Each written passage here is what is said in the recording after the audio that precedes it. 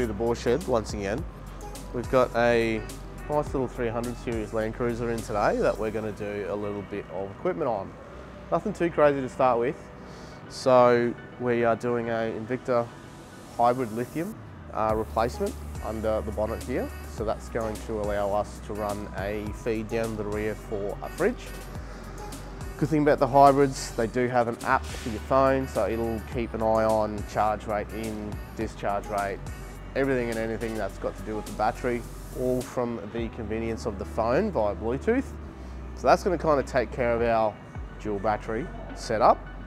And then what we're doing is a Rhino-Rack Pioneer platform. We do have a bunch of accessories going on this, which is kind of cool, on the rack that is. Uh, rod holders and all sorts of weird and wonderful things.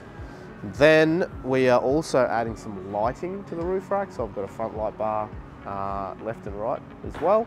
And then in the rear, very, very straightforward for the time being. We're simply running a couple of power feeds from the front here for the rear just to run the fridge for now. And if you're lucky, I might do a little tailgate light setup as well with a Hardkorr light. So let's get into it. This is going to be a fun adventure, especially when it comes to brand new models, brand new cars. You've got to uh, do a little bit of mucking around with them. But seen a couple of these now, so we're going to make this one come together quite quickly and hopefully it's going to be everything that Tom needs it to be for his trip to Fraser. So let's get into it, eh?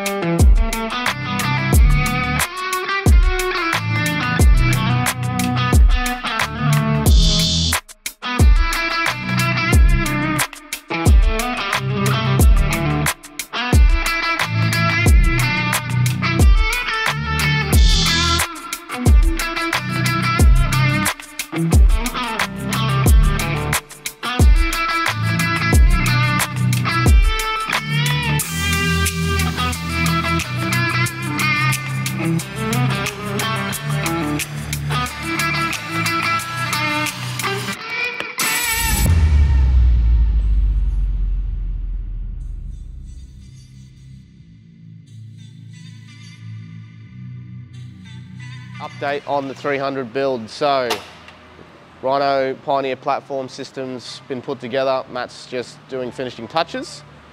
So on the top, we're doing UHF antenna. The reason for that, there's no bar available for the 300 just yet. So this is what we're doing for that option at the moment. I have plugged that with a PL295, basically, which is just a type of UHF connector. So that way he can remove it because he wants to try and still get this thing under certain car park spaces, etc, etc. So the good thing about the Pioneer platform is all these accessories are bolted using their slide tracks. So in here, you've obviously got these M8 nutserts, basically, is what I'm gonna call them. They'll slide into place and then everything can bolt into place, but then to get your accessories off, simply use a 13 mil spanner, bang, bang, they all come off, they slide out of position, and you've got a completely flat platform. So that's what we're going for. Everything's removable, unpluggable. Uh, but what we're doing is Darche 180 awning is going on this passenger side. UHF here as well. Then we've got the recovery track holders. Uh, so we're going to throw a set of Maxtrax on here as well for him. And then you've got the rod holder. So these are just literally a click button type situation. Whack your rods in here and then you can clamp them down so they're not going to move anywhere. And then you do have the lockable uh, accessory holder. So you can obviously run a whatever you want in here, a shovel or a axe or whatever. And then they click into position. And then these do have the lock on them as well. So you, you can key that in if you've got something that is a little bit more expensive accessory wise. We have done work lights left and right, as you can see. So we've got the Road Vision 13 inch light bars on the sides, and then we do have the 40 inch light bar uh, for the front. But that's where we're at with the rack. As you can see, we've got the backbone system for this one on the roof, so it is ready to go. We're just about to lift her up and slap it on. So um, we'll show you what it looks like at the end.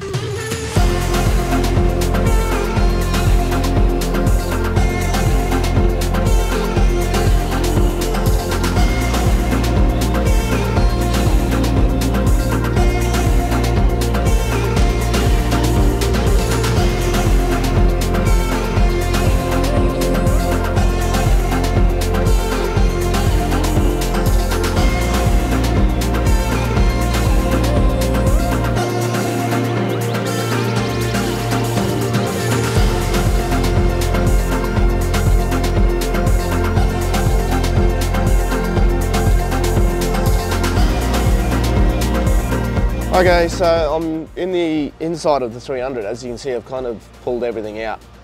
These being very new, we haven't seen too many of these, so we are coming up with a few options for the vehicles on location for accessories. So what I have done and what I've found is I've actually got a bracket made up for our UHF, which goes just in behind the glove box on the passenger side here. That way it's obviously up out of the way and it's actually got a really nice space there to go into. So we've done that with the XRS from GME. There is no real option in the dash here, and that's what this still is. That's the reason why this is still here. So that there's obviously your normal centerpiece. There's no switch blanks or anything like that in here. So it's a little bit difficult to put something in place for the UHF. However, there was this little compartment here that goes in under the disc receiver, because this still has CDs, believe it or not, uh, which had a bit of a space in it, and I put a UHF pass-through down in there. So that should work fairly well. I'm pretty keen um, to see it once it all goes back in, but I have test fitted that and everything works perfectly. So that's gonna be really nice for the UHF. And then on the driver's side, we've just got normal switch blanks that I'm going to put the switches in for the light bar on the front and the two work lights that are going to be on the left and right side, which is sweet. These actually have the same uh, switch blank sizes as the 150 Prados. So we've got switches available for these, which is good. But that's progress so far.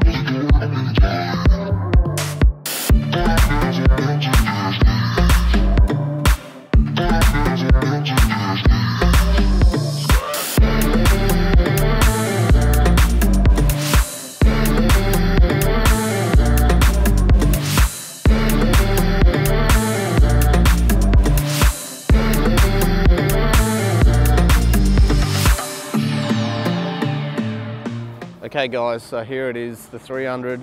We're done for now. This is uh, phase one for the 300. So let's walk over what we've done.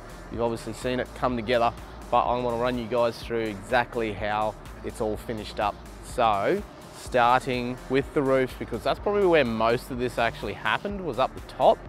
Uh, a bunch of accessories have gone on, as you guys obviously would have seen. So let's start right at the front. We've got a 40 inch road vision light bar at the front.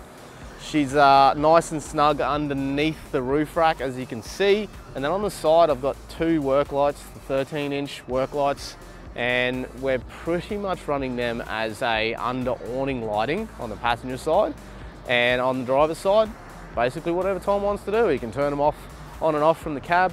Uh, that way he's using it at night, basically looking for camp, at camp, whatever you want to do. Lighting there on the side, super handy for stuff like that. On the top also, we did do the flip down bracket for the GME XRS antenna. I will show you inside what we did with the uh, UHF as well. There's a little bit of customization going on there. But what we kind of did on the rack for Tom was he wanted to be able to pull all the accessories off. So all our electrics are plugged and all of the components are literally removable utilizing the Rhino rack slide system. So everything is basically bolt on, bolt off because he still needs to get this thing in under particular areas. So that's what we've done there. Even the awning as well with the bracketry, we've made it so if you just undo all the bolts, that whole system will come off. That way the rack can then be a flat platform once again. He's got the shovel holders on the driver's side here and he's got the rod holder in the center. Then we've got the Maxtrax holders on the other side. So there's a fair bit of gear going up on this roof. Uh, but with the backbone system, happy days. So pretty cool roof rack system that has happened on the 300. Now, for all you people who are going to ask, how did I get the wiring up to the roof? These are very, very similar to the 200. So you can creep it up the side underneath the trims on the windshield.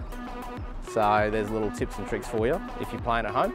But they're a little bit different, not so much space like the 200 underneath the actual clipping, so you kind of can hide it away, but there's definitely not as much room as the previous gen.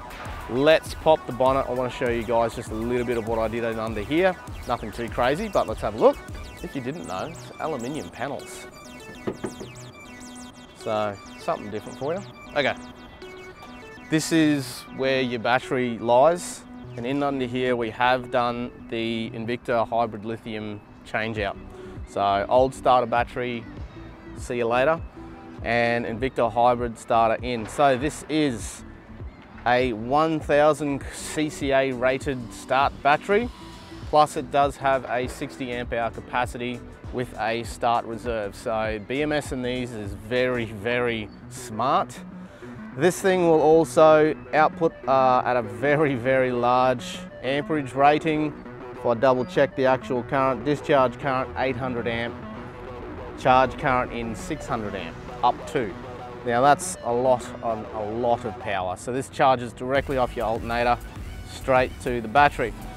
Um, so what we've done here is we've just got a simple little fuse setup because in the rear we do have a little power system that's going on down there but that is obviously doing our light bar and our work lights as well, all from this one battery. Uh, so that's what we've done under there. Cover literally covers the whole thing back up and you don't even really notice what's going on under there. Uh, let's go down the back and I'll show you guys what we did in the rear for Tom. All right, here we are at the bum end. So very, very straightforward, simple setup.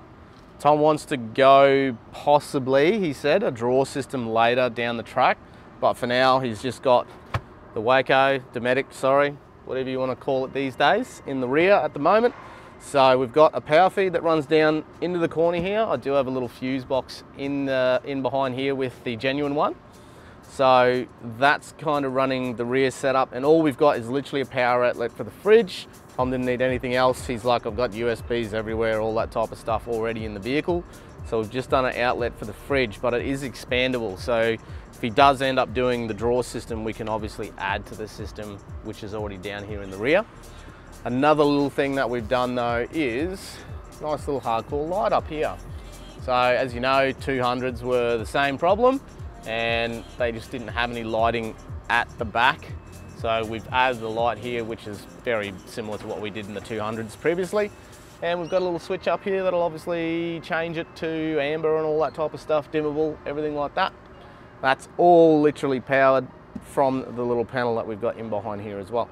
So very straightforward setup, but he's going to do Fraser very, very soon. And to have the hybrid lithium under the bonnet just to run this thing while he's over there, he's traveling all the time anyway.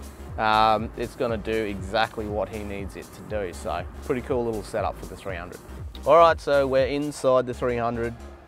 Nothing too out of the ordinary going on here except for this. So GME XRS Connect and we did the pass through down in this little position here. So this is the genuine componentry and it's got a little flip up so you don't have to look at it but if you want to utilize the USBs and the USB-C that's in there I managed to fit the pass-through for this in there as well which is quite sleek quite good and that way you can plug it in when you want to use it I always leave little mounts off I don't like putting things on where customers obviously would like to put them it's a very personal type thing I reckon so I leave that put it in the cup holder for the guys and away they'll go. On the driver's side, it's literally just switches in genuine switch locations for the work lights and the roof light bar. So that is it. Well, that's it guys. Thanks very much for watching. If you like what you saw, please give us a thumbs up. If you haven't done so yet, subscribe to the channel so you don't miss any other videos that are coming up. Uh, comment below whether the 300 would be something that you would consider or you still like the 200 series. Horses for courses, but let us know. Thanks very much guys. We'll catch you next time we put a car together.